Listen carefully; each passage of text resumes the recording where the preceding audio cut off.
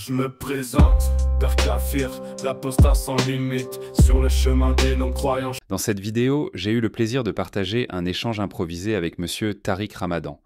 Je tiens à exprimer ma gratitude pour cet échange concis et respectueux, et tout particulièrement pour votre réaction mesurée face aux propos diffamatoires de la dame qui s'est exprimée juste après moi. J'espère sincèrement avoir l'opportunité de vous recevoir, comme accepté de votre part, pour une discussion plus approfondie sur votre lecture, en comparaison avec celle de l'islam sunnite. Oui, bonsoir. Anir.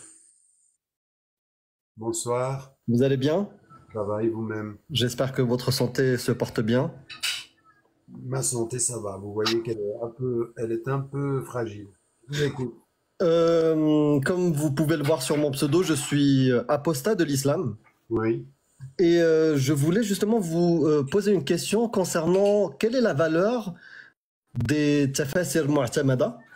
Euh, par exemple, Tabari, Ibn Kathir, Barawi. euh, et puis, euh, quelle est la valeur des ijma' c'est-à-dire les consensus des quatre écoles sunnites Alors, il faut être juste précis par rapport à votre question. Je vais essayer de la reformuler. Vous me dites si j'ai bien compris. La première des choses, c'est quelle est la valeur que l'on peut donner aux différents commentaires du Coran, les plus classiques. Vous avez parlé de Tabari dans l'ordre, Ibn Kathir, et puis je pense que vous pensez à Qurdubi et tout ça, c'est ça? Tout à fait. Voilà. Alors, euh, par rapport à cet affaire-ci, ce qu'il faut comprendre, c'est que euh, c'est des tafassirs qui sont faits par des savants à l'époque dans laquelle ils vivent, à partir de deux sources. Le Coran lui-même, et puis ce qu'ils savent à leur époque, Bien, la révélation de ce qui a pu être mis en évidence par euh, X ou Y source. Et donc, il y a deux volets dans leur euh, euh, explication. Une valeur normative, c'est-à-dire le Coran pour ce qu'il est, et puis une valeur contextuelle, c'est par rapport à, ce qu'ils disent à l'époque où ils le disent, par rapport à ce qu'ils comprennent. Donc, euh, ce sont des paroles sur lesquelles on peut s'appuyer, mais ça reste des paroles d'hommes. C'est-à-dire que ce sont des compréhensions humaines d'un texte divin. Ça n'est pas des textes, ce ne sont pas des textes divins sur un texte divin.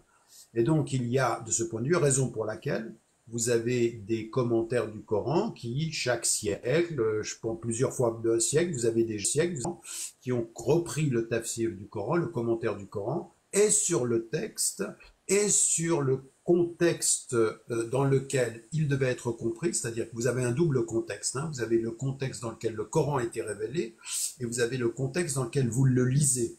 Et le commentaire, il doit faire euh, le mariage entre les deux.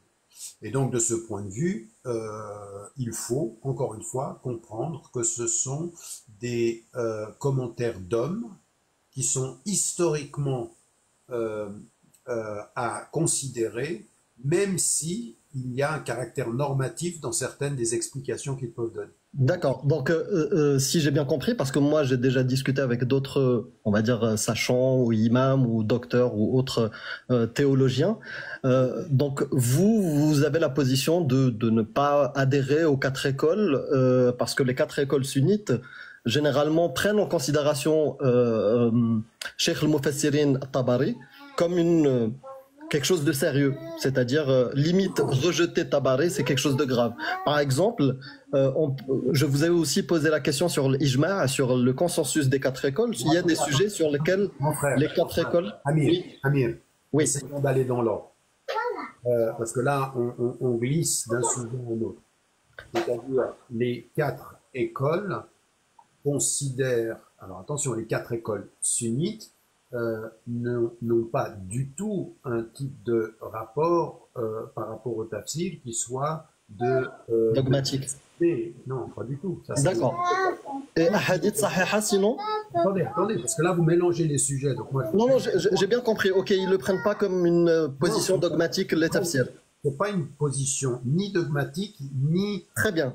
euh, de, de diviniser le propos. Ce Très qui bien. est normatif, il le considère comme normatif. Ce qui est historique, il, co- pardon, excusez-moi, il considère qu'il faut en considérer euh, l'histoire.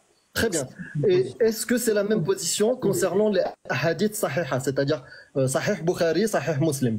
Parce que, par exemple, dans ces, euh, ces hadiths, on peut trouver énormément de euh, hadiths qui parlent, par exemple, euh, quelque chose que vous connaissez certainement, de l'âge de Aïcha lors de son mariage et de la consommation. On peut trouver, par exemple, euh, euh, l'had ridda, c'est-à-dire la peine de l'apostasie, euh, sur laquelle il y a un consensus chez les quatre écoles. Du coup, est-ce que pour vous, Non, personnellement, pas- vous prenez en considération les hadiths sahiha? Mon frère, mon frère. Je vais juste répondre aux deux questions qui restent. Et puis après, on s'arrêtera parce qu'avec vous, il faudrait qu'on ait une autre session où on parle de tout. Clairement, clairement, oui, effectivement. Ouais, Effectivement. parce que là, parce que vous, vous avez une question qui vient après l'autre. Vous avez posé deux questions, la- trois questions. Vous avez posé la première sur les, les tafasirs. Vous avez posé une deuxième question sur l'ijma. Tout à fait. Sur, sur l'ijma, euh, vous avez effectivement un, un certain nombre de savants qui ont considéré que l'ijma était pratiquement au niveau de quelque chose qui était qat'i. C'est-à-dire que quand tous les savants se sont mis d'accord, c'est qu'à une période donnée, c'était comme si c'était le texte qui le disait. Or, tous les savants ne sont pas d'accord là-dessus. Déjà, vous avez une position qui est déjà euh, assez critique, c'est Shafi'i, donc un des euh, euh, représentants de quatre des écoles, d'une des quatre des écoles dont, dont vous parlez. Et puis, il y a très tôt des savants qui ont mis en évidence que par rapport à l'ijmar, l'ijmar qui est le consensus de savants à un moment donné de l'histoire, peut de ce point de vue-là, avec de nouvelles connaissances, être remis en cause, euh, parce qu'il n'est pas la, le texte qui dit les choses clairement, il est le silence des textes interprétés collectivement. Ou le, le, le- les textes qui peuvent être mutashabih, c'est-à-dire à la, à, la, à, la, à la conjecture. Donc, je considère que l'ijma reste une porte ouverte à la euh, recherche euh, fiqhiyya, c'est-à-dire du droit, et que ce n'est pas une, euh, ce n'est pas une euh, décision euh, qui est du même ordre que le qata'i du texte.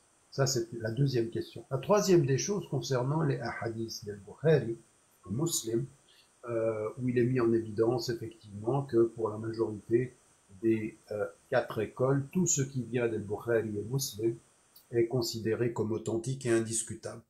Euh, de ce point de vue, vous avez, et même chez des savants qui sont des savants euh, de très très très haut niveau, des considérations où il faut nuancer cette approche-là, et vous avez ça même chez Al-Albani, donc euh, qui est le Muhaddis al-Qarn du XXe siècle, et, et donc qui met en évidence, il faut faire attention, parce que l'authenticité de l'isnad, c'est-à-dire de la chaîne de transmission, n'a pas encore forcément dit l'authenticité absolue en matière de hukm par rapport au metn, c'est-à-dire du contenu. Et que même par rapport à la question de l'âge de Aïcha, moi je l'ai mis dans le texte que j'ai écrit sur le prophète salam, euh, qu'en fait l'âge avait été discuté assez tôt d'ailleurs par des euh, euh, par des euh, euh, des euh, reconstructions historiques de mettre en évidence que euh, euh, Aïcha était plus âgée que cet âge-là euh, de ce point de vue. Donc, ce que je vais vous dire par là, c'est que votre position, faut que vous fassiez attention parce que ça n'est pas parce que vous discutez avec des jeunes imams ou avec certains imams فصاروا ينكرون نكاح إنكاح الكبير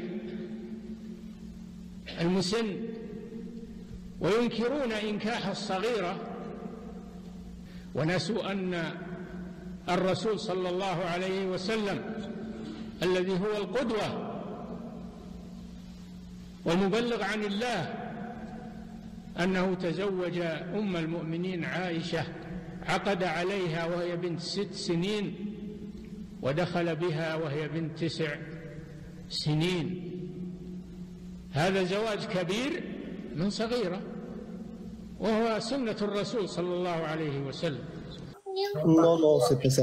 Alors, En fait, euh, moi, je me base par exemple sur des références comme Umdat Salik, comme euh, euh, des, des, des, des livres de fiqh dans lesquels, dans lesquels le consensus est clair, par exemple sur le euh, Zawaj Saghera, le mariage des petites filles est attendez, halal justement grâce à ça. non, non, mais ne dites pas le, le consensus est clair. Euh, la preuve qu'il y a un problème, c'est que vous dites le consensus est clair et qu'il n'y a pas de consensus. Ah bon? Le- non, il n'y a pas de consensus. L'ijmar, de ce point de vue-là, il est absolument pas attesté. Justement, Albani, il dit qu'il y a consensus. Il le dit où? L'Albanie Albanie est absolument pas sur le sens de, euh, du consensus de cette façon-là. Donc faites attention, il faut de ce point de vue-là, vous soyez prudent, parce que vous pourriez, vous, commettre la même erreur de ce que ceux auxquels vous vous opposez. Ils vous disent c'est certain, et vous vous dites c'est certain. Et quand on, se, on approfondit les choses, on s'aperçoit qu'il y a dans la tradition une richesse qui fait que ce qu'on a considéré comme un consensus ne l'était pas. Et moi, je peux vous dire, pour avoir étudié, moi, vous savez, un de mes chers, l'Aqaba, avec qui j'étais en, Égypte, euh, j'ai passé mon temps à prendre 64 euh, euh, questions fiqhiyya dans lesquelles j'étudiais les divergences les divergences. Pourquoi est-ce que je faisais ça? Pour essayer de comprendre de ce point de vue-là, non pas ce sur quoi il y avait consensus, mais comment s'explique la divergence. Et vous voyez de ce point de vue-là que tout ce qu'on nous dit sur le fait, par exemple, quand vous dites les qu'il faut euh, tuer El Mortad, vous avez dit ça? Il y a un ijma sur le fait. Tout à fait. Eh ben, c'est pas vrai. Eh ben, bah, bah, en tout cas, dans les écrits qui sont utilisés. Non, mais s'il y a un savant qui n'est pas d'accord. Non, non, c'est pas un savant. C'est pas un, savant. Tous, tous les savants que j'ai consultés, et dont Albanie par exemple, je vous ai dit tout à l'heure, c'est dans. Écoutez-moi, mon frère, écoutez-moi. Ouais. Vous m'avez demandé la référence, la source. Attendez, Albanie dans le mot al fiqhiyya. Moi, je ne parle pas d'Albanie, là, je vous dis, qu'est-ce que c'est l'ijma? L'ijma, c'est tous les savants sont d'accord, ok? Tout à fait. Eh ben, ben, Soufiane et Saouri, au 8e siècle, il n'est pas d'accord sur l'interprétation. Exactement, je sais. Mais il y a ou pas? D'accord, je peux vous le dire, je peux vous répondre. En fait, euh, il y a une règle dans Al-Sunnah wal Jama'a, Donc, quand il y a un avis euh, divergent, unique, isolé, il n'est pas pris en compte. C'est pas il est chaise. Est-ce qu'il est de ce point de vue-là, il a été considéré comme un avis qui était chaise c'est un savant qui est reconnu dans la tradition musulmane. Oui, mais sur cette histoire-là, Ra'yun Shad. Sur ce sujet-là, Had de Ridda? Non, pas du tout, parce que vous le retrouvez, vous retrouvez même cette étude, elle a été faite et, euh, de ce point de vue, elle a été faite par un certain nombre de savants jusqu'à notre époque. Donc, comprenez bien une chose, c'est que ceux qui veulent dire que l'ijma euh, il existe. Et puis tout à coup, pour dire qu'il existe, ils enlèvent une pensée euh, qui n'existe pas. Et eh ben moi, je suis pas, je suis pas d'accord avec ça, parce que ça, c'est donc pas un ijma. La preuve que c'est pas un ijma, c'est qu'il y a un avis. Et quand, mm. moi, je vais vous dire une chose. non, il y a, toujours eu des divergences. Mais non, quand il y a un avis qui n'est pas d'accord avec la majorité, il faut l'étudier deux fois plus cet avis pour savoir sur quoi il bah, Ils l'ont déjà fait, Salaf Saleh et d'autres. Ben, c'est la raison pour laquelle maintenant vous avez énormément de savants qui reviennent sur cette question et qui reviennent à Sofiane Sabri en disant, eh bien, il y a une autre compréhension. Donc, bah, il faut le dire à Al-Sunnah wal Jama'a. Hein. parce que tous les représentants de Al-Sunnah wal Jama'a, ils considèrent que l'Ijma, c'est quelque chose de sérieux. bien sûr que c'est sérieux, mais est-ce que c'est Qatari? C'est ça la question. Bien sûr que c'est sérieux quand tous sont d'accord. Mais, mais bien sûr, c'est Qatari, il est appliqué. Ben moi, je vous dis que non. Ben je vous dis que non. Euh, euh, euh, Mohamed Hamidullah, on est en 1950. Eh bien, il met en évidence dans son livre, dans toute la tradition hanafi, que l'ijma doit être discuté et discutable. Pourquoi vous, vous, vous n'entendez pas cette voix-là? Pourquoi vous tombez dans le piège de ceux qui vous disent que tous sont d'accord? Vous-même vous tombez dans le piège de ceux qui vous disent tout le monde pense ça. Moi, je non, ils font pas autorité ces gens-là. Bien sûr, il y en a. Bien sûr, il y en a. Ben, mais ils sont, ils minorités, ils ne sont pas pris au sérieux. Mais, qui n'a pas pris bah, Par exemple, quand on va chez euh, l'Azhar ou au Médine ou même au Maroc, ce qui est inculqué, c'est l'ijma Mais non, mais ils ne sont pas pris au sérieux parce que vous ne les connaissez pas. Bien sûr qu'ils sont pris au sérieux. Donc moi, ce que je vous propose, mon frère, euh, c'est véritablement dans votre position de faire attention de ne pas tomber dans le piège de ceux D'accord. C'est que vous, vous, avez exactement la même attitude. Non, non, non, pas du tout. Moi, j'y crois pas. Moi, je vous dis juste ce que j'ai appris. Et, sur, j'ai appris quelque chose. Je suis, je vous remercie. Je vous remercie énormément qu'il y a au moins 21 hadiths concernant le mariage de Aïcha qu'il faut jeter à la poubelle parce qu'ils sont pas sahih. Mais attention, mais ne dites, pas ça. J'ai pas dit ça de cette façon-là. J'ai dit que la non, c'est pas ça. Non, j'ai dit que la question de l'âge est une question discutée, comme certains hadiths ne sont pas de la même authenticité dans l'isnad et le matn que ceci est discuté. Même quand c'est dans euh, Sahih Bukhari et Muslim. Non, mais évidemment, même dans Sahih Muslim, mais bien sûr. Et là, de ce point de vue-là, s'il vous plaît, faites attention à ne pas tomber dans le piège euh, ou dans la même attitude intellectuelle de ceux auxquels vous opposez. Parce que vous pouvez aussi, cher euh, Amir, oui. dogmatiquement apostat. Et ça serait Non, non, pas du tout. Vraiment pas. Je suis vraiment preneur de votre avis parce que moi, je sais que vous pouvez avoir un avis différent de, de Al-Sunnah al Jama'a. Il n'y a pas de souci.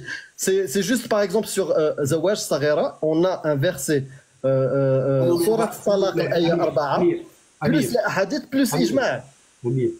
On a beaucoup discuté. On se retrouvera, Inch'Allah, sur une autre discussion. Est-ce que vous, vous accepterez une invitation sur une plateforme euh, sur YouTube si, Je serais ravi de vous accueillir? Inch'Allah, moi j'ai. Pourquoi, bah, je vous ajoute. Pourquoi, pourquoi ne l'accepterais-je pas si vous me donnez la parole? Bah, Bien sûr, vous allez avoir la parole. Même vous serez privilégié. C'est pas ce que j'ai demandé, je veux juste être respecté. Vous allez être respecté, monsieur. À bientôt, salam alaikum. Au revoir. Ceux qui vous font croire des absurdités vont vous faire commettre des atrocités.